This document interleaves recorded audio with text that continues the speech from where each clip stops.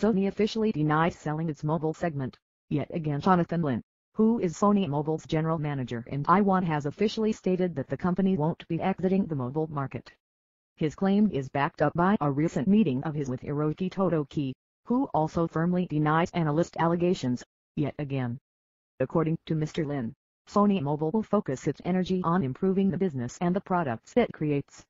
The company's newly opened factory in Thailand dedicated to smartphone assembly should help in these efforts. The company's Xperia Z5 premium flagship will launch in Taiwan in a month's time. The price of the handset is expected to be around the $500 mark unlocked. Sony Mobiles optimistically expects to grab 30% of the high-end Android smartphone market in the country. We're yet to see if the executive's words will hold water in case Sony's plans on breaking even don't materialize.